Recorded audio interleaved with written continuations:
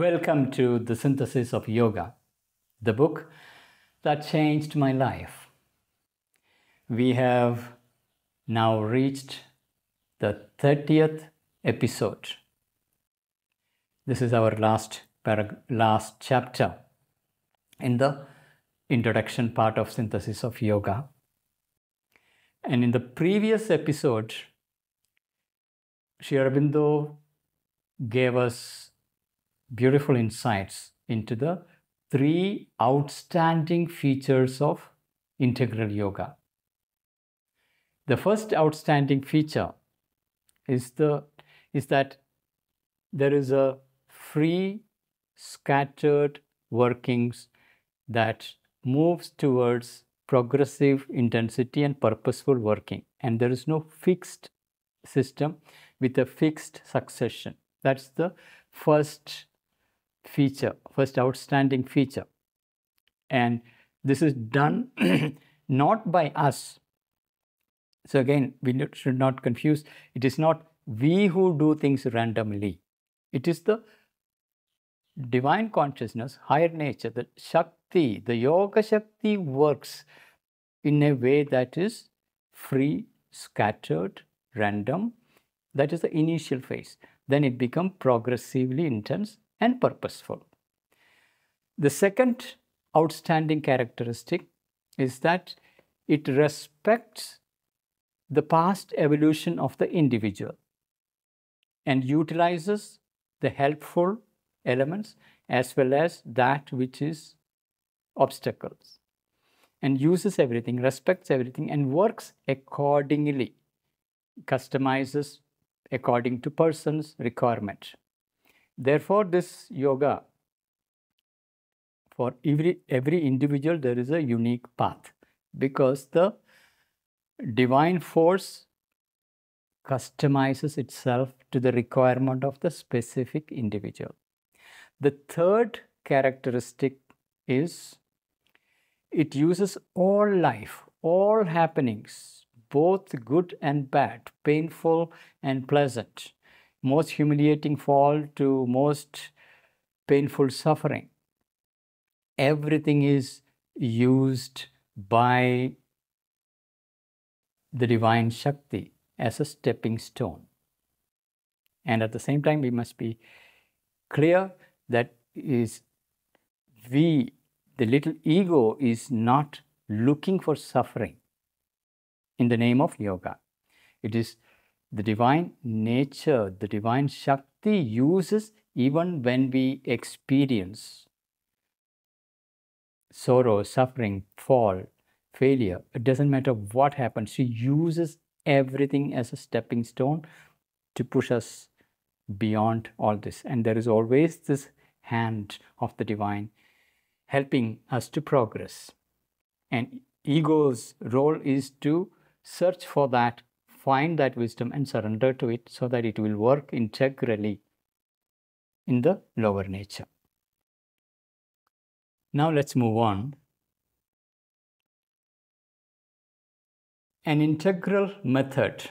Okay, before that, we are on the 14th paragraph, and uh, the link to this chapter is in the description for those who do not have the book with them. Pick up the 14th paragraph of this chapter so that we can travel together an integral method and an integral result. Method is integral, so is the result that is integral. First, an integral realization of divine being. That's the first result. Integral realization of divine being. One can have a partial realization it is possible to realize divine consciousness in the mind alone or in the heart alone or in the body on its own or in the inner being but in, not, not in the outer being. So there are many, many possibilities of divine realization. And then there is an integral realization when it is spread across the spectrum of the instrumental layers. So, first, an integral realization of divine being. Not only a realization of the one in its indistinguishable unity, indistinguishable unity. The Sachidananda, that which is beyond time and space, beyond manifestation, is formless. It is indistinguishable unity. It's oneness without any differentiation in it. Many traditional paths seek to arrive at that indistinguishable unity where everything is resolved, dissolved. There is a formless, vast timeless, eternal, unchanging existence. We must realize that, but not that alone. So, not only a realization of the one in its indistinguishable unity, but also in its multitude of aspects, which are also necessary to be complete knowledge of it, which are also necessary to the complete knowledge of it by the relative consciousness. There is a relative consciousness and an absolute consciousness. And in that relative consciousness is the multiplicity, the manifestation. And to have a complete knowledge of it in the manifestation is necessary. Not only realization of unity in the self, but of unity in the infinite diversity of activities, worlds, and creatures. So there is unity in the self, and then there is unity in the diversity. Unity in the self is already very well known, well established as a spiritual experience that part is well known. But unity in multiplicity, in activities, worlds, and creatures, this is something still in the making.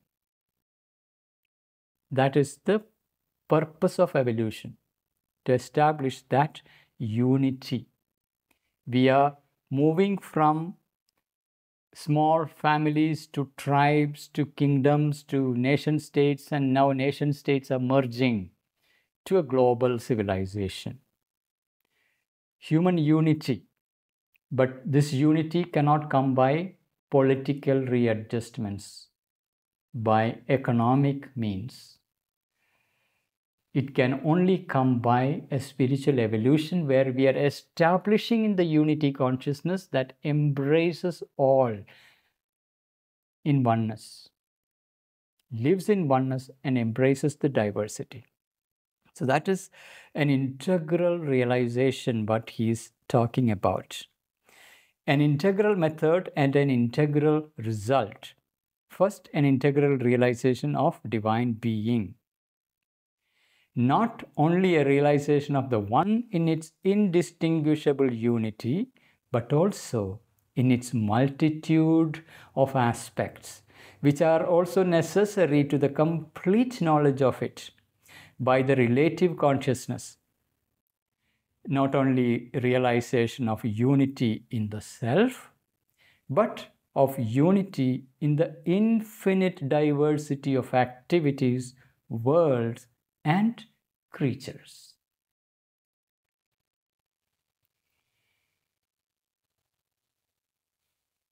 That diversity of activities, the divine consciousness is acting diversely.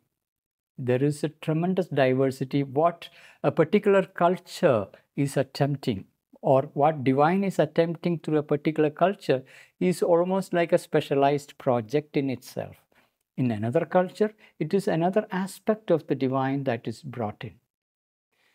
In a third culture, it is yet another aspect.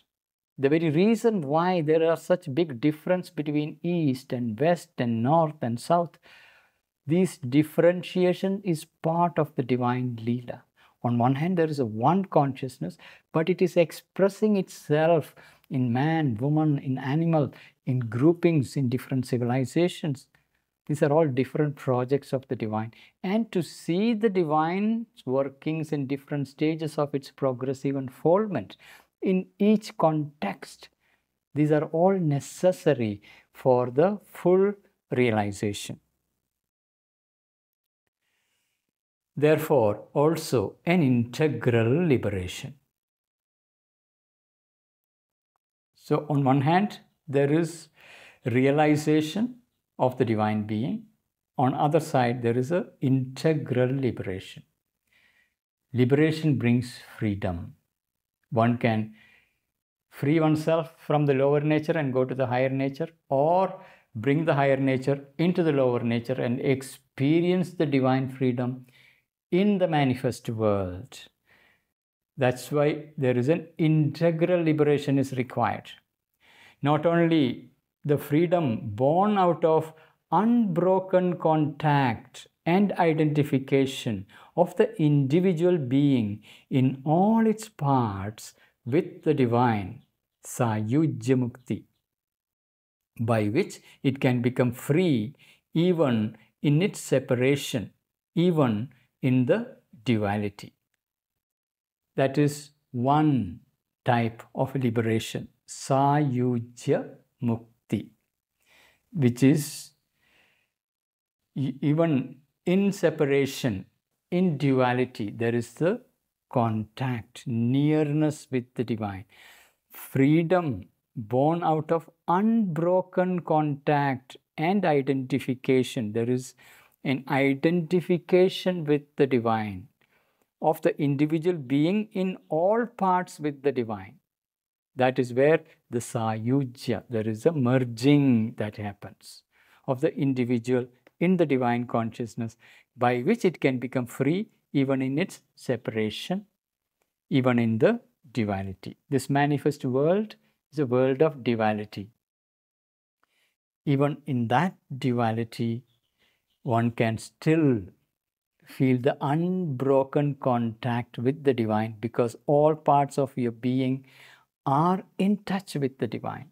So it's not only in the mind that you feel the presence of the divine, see the presence of the divine, but you feel in the heart, you experience in the body, even when there is a sense of this duality of the play. And that is the Sayujya Mukti Sri Aurobindo is talking. The next one is not only the Salokya Mukti, by which the whole conscious existence dwell in the same status of being as the divine, in the state of Sachidananda.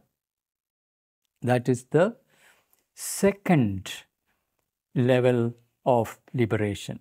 First is an unbroken contact, so that you are enjoying the lila through that unbroken contact.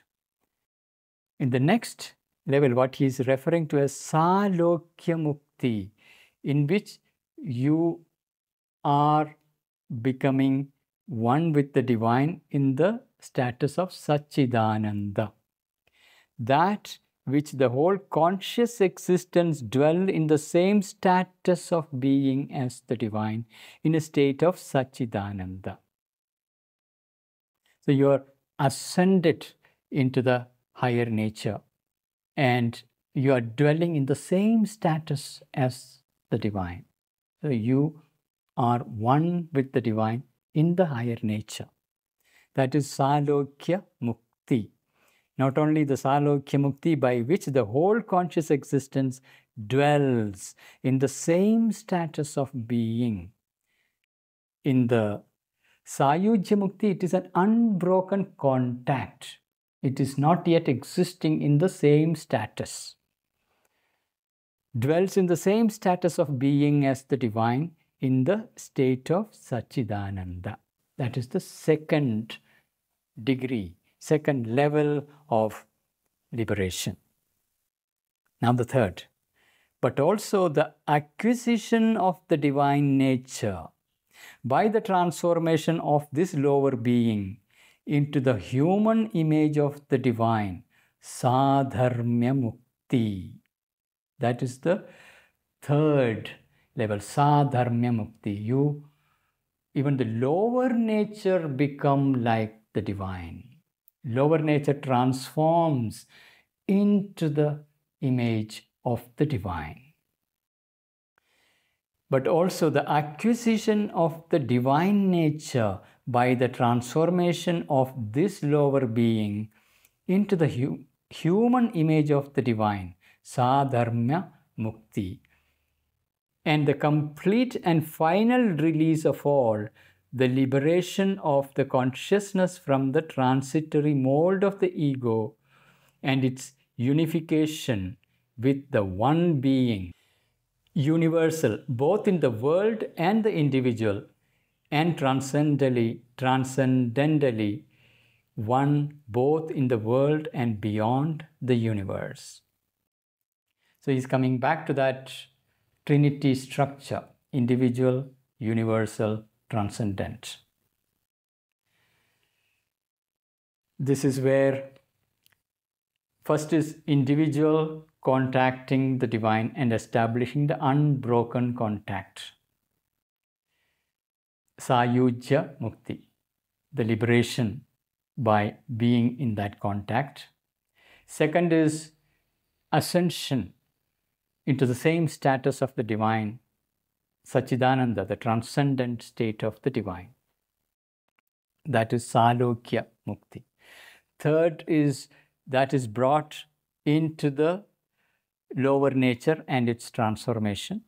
That is where it becomes Sadharmya Mukti. The lower nature takes on the nature of the divine, not only at the individual level, but also at the universal level, where the individual mold dissolves, its ego boundaries dissolve, and the being gets universalized. Your existence becomes universalized even then, even when you are operating as a point, a center of action for the divine consciousness, you have you have universalized, identified with the universal nature, and bringing that higher nature into the universalized nature. That is the highest possibility Sri Aurobindo is bringing, and you can be simultaneously in all three.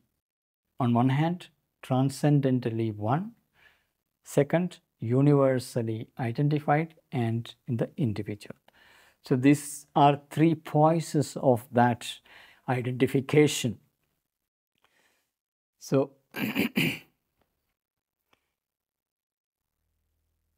the acquisition of the divine nature by the transformation of this lower being into the Im- human image of the divine, Sadharmya Mukti, and the complete and final release of all, the liberation of the consciousness from the transitory mold of the ego and its unification with the one being, universal, both in the world and the individual, and transcendentally one, both in the world and beyond all universe. So that is integral liberation, where your identification is complete at the level of individual, the level of universal, at the level of transcendent. The simultaneous existence across the spectrum of the possibilities. That is where the Sadharmya Mukti leads to, into the full spectrum of identification. Becoming that, and through that, the immense freedom. Immense freedom in action, in enjoyment, divine action in the world, transcendentally, universally, and as an individual center in the world. By this integral realization and liberation, these are the two things realization and liberation. The perfect harmony of the results of knowledge, love, and works.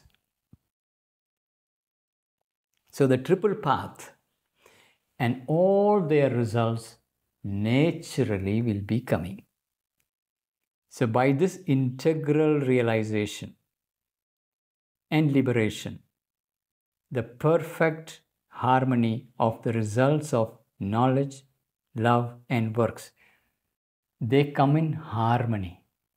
Otherwise, you may have realization and liberation of knowledge and some aspect of love or works, but they may not be in harmony. Here it is brought together in harmony, perfect harmony of the results of knowledge, love, and works.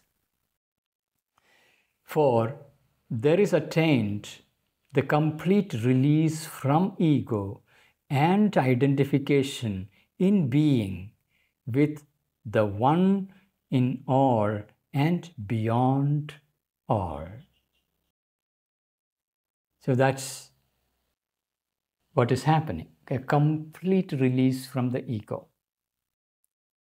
We start with the ego. For many people, they may even have to form the ego because they are still part of the collective ego. Then you individualize and become an individual ego. Then this ego is contacting the divine consciousness and surrendering to it. And in that process, the ego gradually dissolves. So, when there is a complete release from the ego, the divine consciousness enters, and you have Salokya Mukti, Sayujya Mukti, and Sadharmya Mukti. All the levels, an integral realization and liberation. That is where it leads to the identification in being with the one in all, one in all, and beyond all. The whole existence is permeated by the divine, and you, individual ego, dissolves and identifies with that one in all and beyond all. So, for there is attained the complete release from ego and identification in being with the one in all and beyond all. But since the attaining consciousness is not limited by its attainment, we win also the unity in beatitude and the harmonized diversity in love. So, all relations of the play remains possible for us even while we retain on the heights of our being the eternal oneness with the beloved.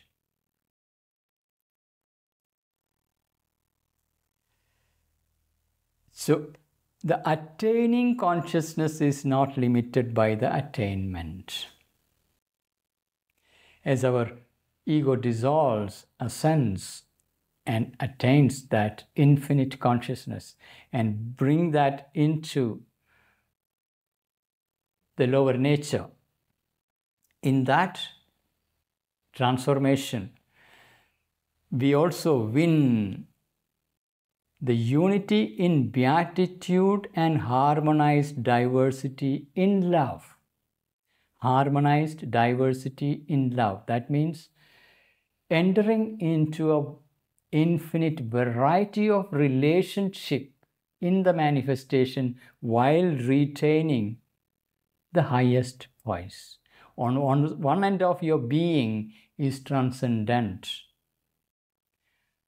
On the other hand, you're also universal. Within that universal is the individual center, which is now beyond ego.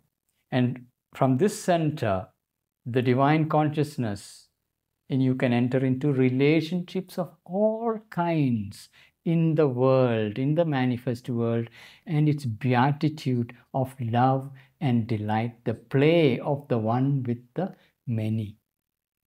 That is the highest ecstasy of love one can experience. We win also the unity in beatitude and the harmonized diversity in love. so that all relations of the play remain possible to us, even while we retain on the heights our, of our being the eternal oneness with the beloved. The supreme beloved, that oneness is there. And in this world, there is this multiplicity of relationships. That's the integral realization's unique dimension. There is this multiplicity of relationships and the beatitude of it.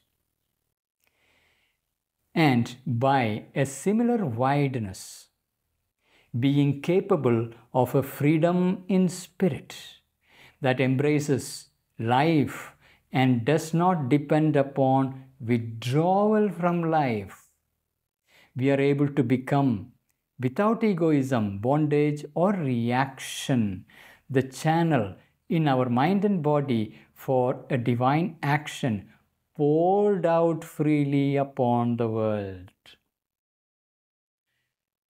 This is the dynamic action of the divine consciousness in the world, and you become the instrumental condition for that action in the world. There is no need to withdraw from the world because there is a dynamic identification, a universalized status of your being, existing at once in the transcendent, in the universal, and the individual who has dissolved the ego boundaries and become universalized. And entering into multiplicity of relationships and through that there is an action in the world without ego without attachment without reaction. If we look at our individual ego mold that is constantly reacting to the external contacts when that mold is dissolved, when your very being become universal, it is a non-reactive space. On one hand, deep within you, there is a vast foundation of stillness, immobile, calm wideness of being, silence, pure silence pure peace, vast peace. So when we go to Sri Aurobindo's room or go to the Samadhi, we can experience that vast peace. And in the photographs, we see him just sitting as if doing nothing. But in that vast peace, is the non reactive ground of the being who is at once transcendent, universal, and visible through this individual form. There is a universal action happening because your being is one with the universe.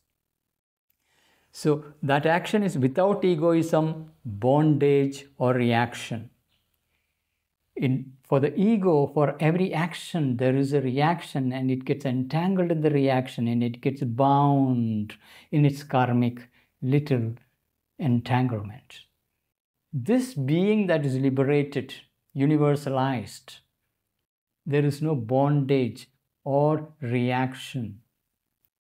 That's where the absolute freedom of action is the channel in our mind and body for a divine action poured out freely upon the world. So you become the channel for action in the world of the divine force. So you're not only opening to the knowledge and love, but also the divine power pouring out into the world and acting and transforming the world through that action in the world, a cosmic action.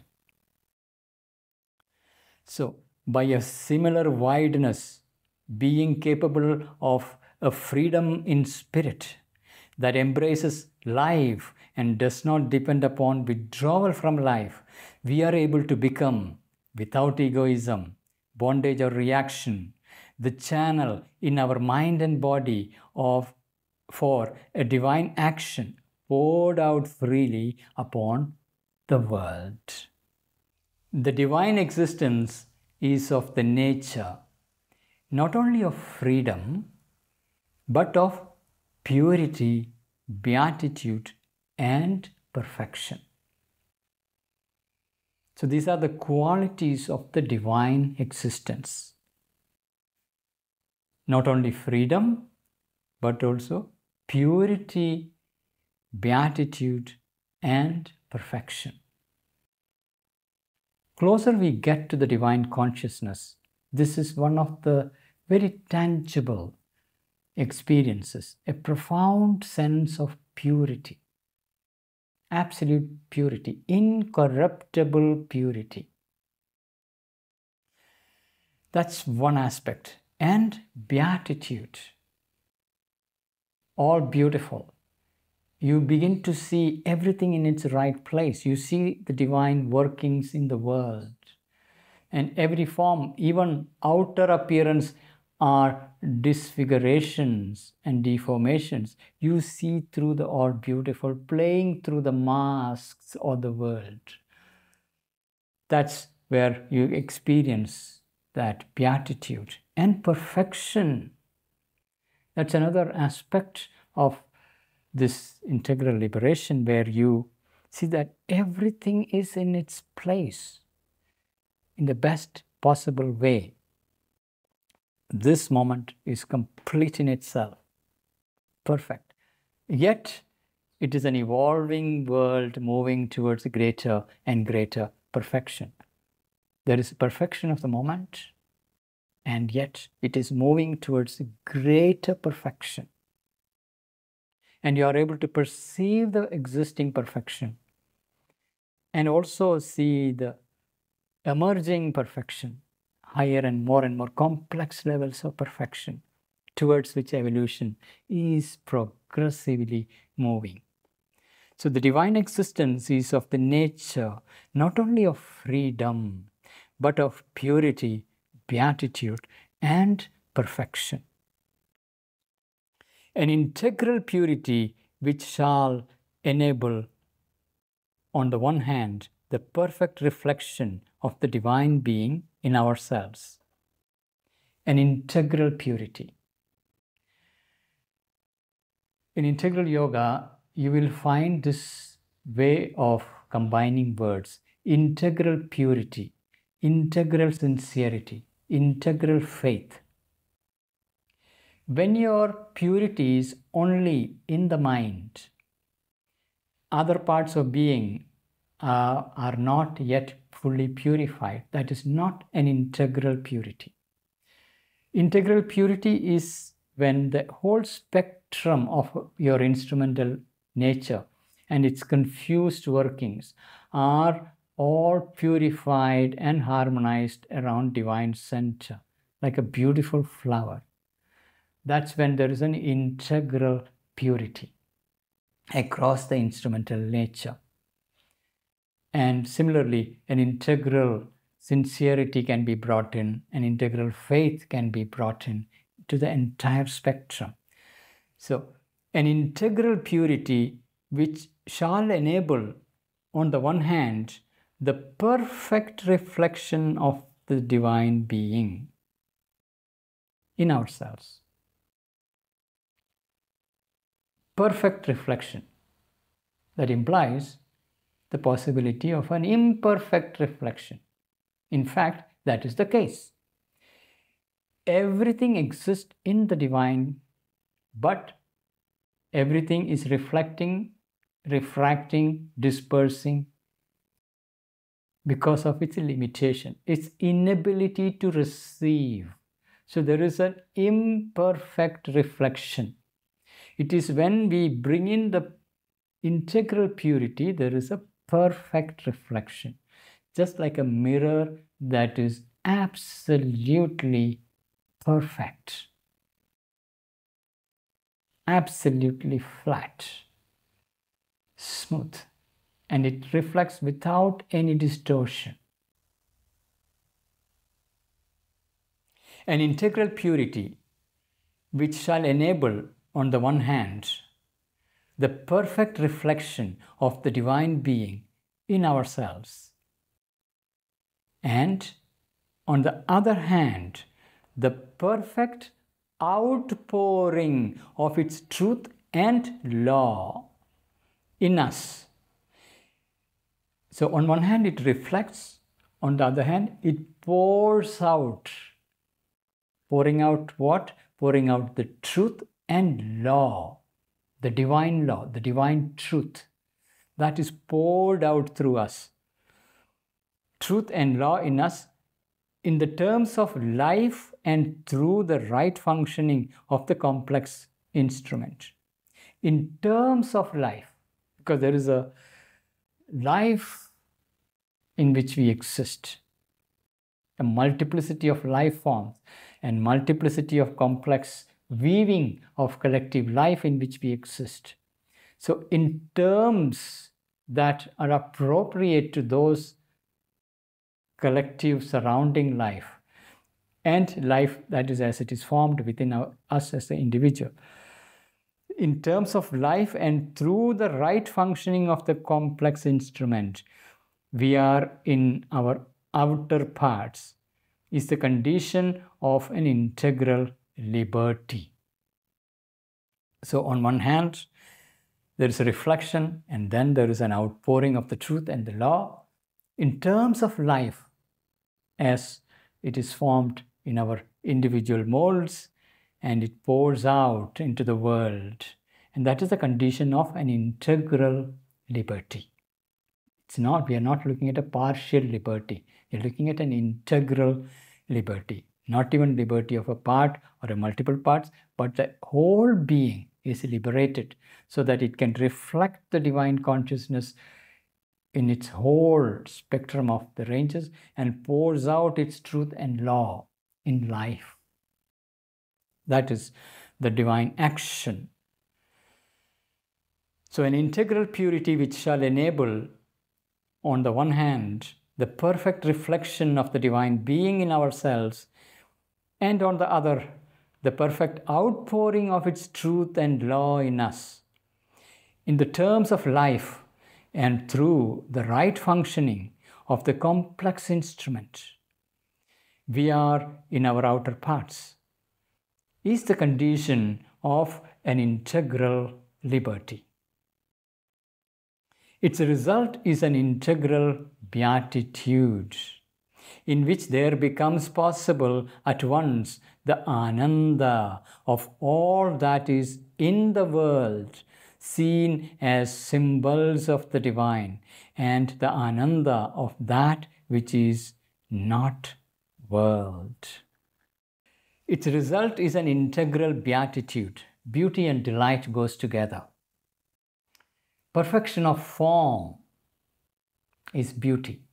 Wherever there is beauty, there is delight. And delight is the very nature of divine consciousness. And divine consciousness brings perfection into the world. And you perceive the world as symbolic representations of the divine. And you see it in the world and also beyond the world.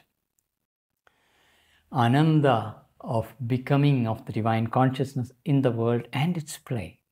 So its result is an integral beatitude in which there becomes possible at once the ananda of all that is in the world seen as symbols of the divine and the ananda of that which is not the world.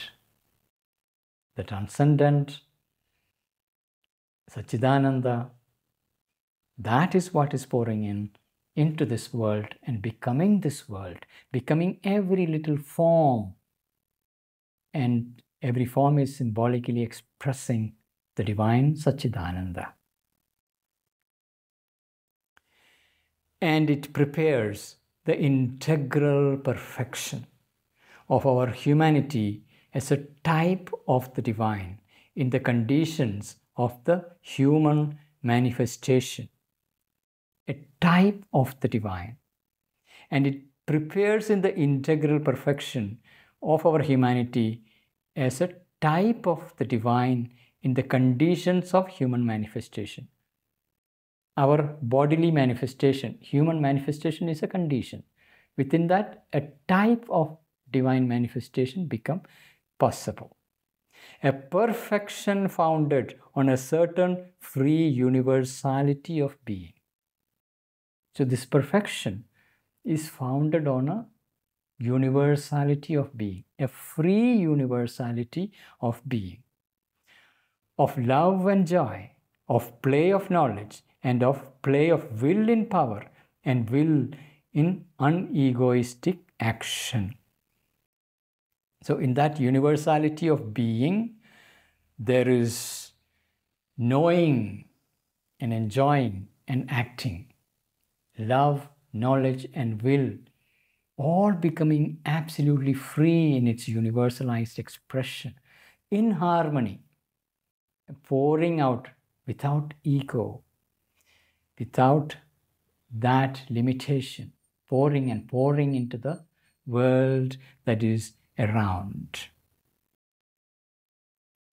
And it prepares the integral perfection of our humanity as a type of the divine in the conditions of the human manifestation. A perfect a perfection founded on a certain universality of being, of love and joy, of play of knowledge, and of play of will in power, and will in un- unegoistic action. This integrality also can be attained by the integral yoga. This is the perfection, integral perfection promised by integral yoga. There is a union that is at all the levels, and then the pouring in of everything into the world through knowledge, through love, through will, action, and universalized action, and the perfection within the conditions of the human existence. So, with that, we come to the end of this episode. We have one more episode to complete in this chapter. See you next week.